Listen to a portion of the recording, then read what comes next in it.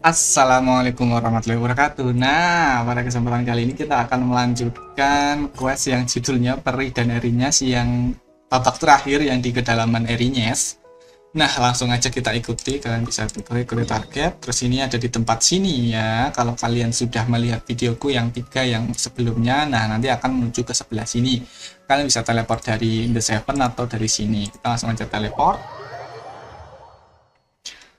terus kita tinggal menuju ke air mancurnya.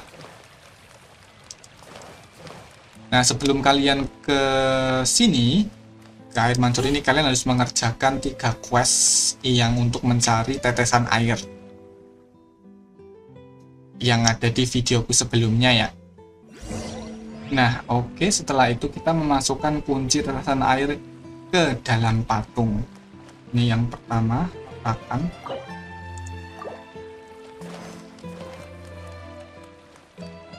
letakkan terus ini yang ketiga. Aduh malah kepencet ini. Kita letakkan yang terakhir. Nanti bakal ini bakal terbuka untuk kita bisa masuk ke dalamnya. Oke ini kebuka ya. Langsung kita masuk. Kita masuk ke dalamnya masuk ke dalam tinggal berenang.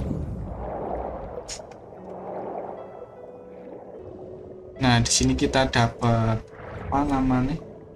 Dapat luxury chest lumayan. Kita bisa ngikuti ini ya tinggal masuk kayak kita tinggal berenang ke dalam ya guys ya. Ngikuti pusaran airnya. Kita tinggal naik ke atas ke sebelah sana. Nah ini dia hidden teleportnya. Hidden teleport ada di sebelah sini. Nih di sini ada hidden teleport. Nah, sebelum kalian membuka ini, kalian harus mengerjakan eh, menyelesaikan quest yang judulnya Peri dan Erinyas. Kayak gitu untuk membuka teleport yang ada di sebelah sini. Oke. Kalau sudah dibuka kita bisa teleport ke situ. Nah ini untuk yang babak terakhir. Bersihkan kekotoran di sekitar akar oke? Okay, kita tinggal bersihin aja. Uh, sebelum itu kita habisin dulu ini para para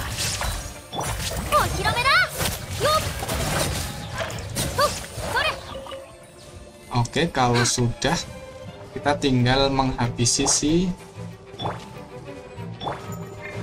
kita gunakan oh sini masih masih ada ini.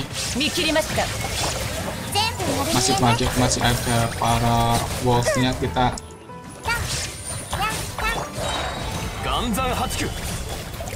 Kalau sudah kita ambil ini lagi. Kita bersihkan. Satu.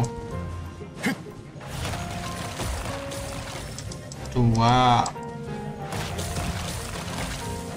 terus ditinggal yang gede. Nah yang gede ini nanti bakal muncul banyak banget itu kayak kerucil-kerucilnya kita bersihin juga. Oke jangan sampai dia mendekati ke ininya. Setelah itu baru kita serang yang tumor yang gede ini. Nah kalau muncul lagi kita harus bersih lagi setelah itu kita serang lagi. Nah selesai. Setelah itu kita ngobrol lagi dengan Melusennya lagi.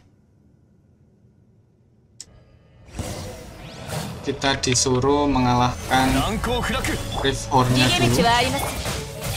So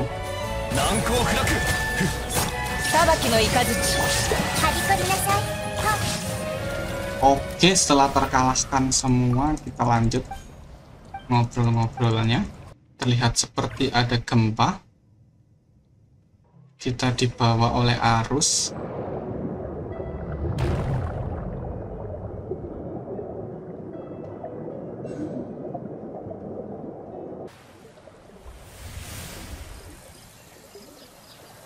Nah, akhirnya ini bersih ya.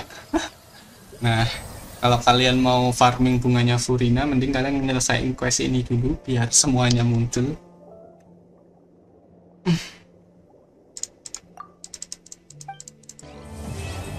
Nah, peri dan erinya selesai. Kita mendapatkan tiga peti itu ya lumayan ada Persesius sama Asisius juga.